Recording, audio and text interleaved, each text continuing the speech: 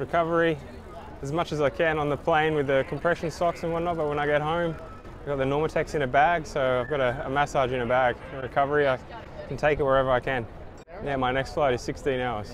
2016 is over, and we're all busy preparing for the start of 2017.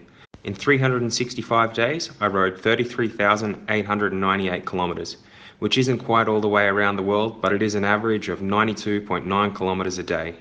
In my car, I drove just under 5,000 kilometres.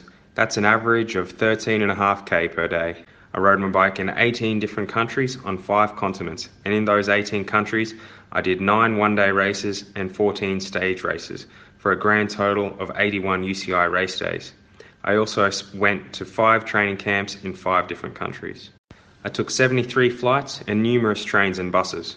I spent 202 nights over half of the year sleeping in strange beds. I spent just a quarter of the year, 97 days, in Australia, my home country.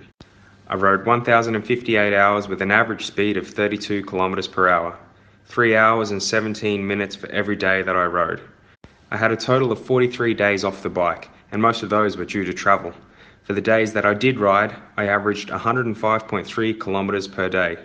Up until today, I left home on uh, 12th of January, I think it was. So yeah, just over almost three weeks.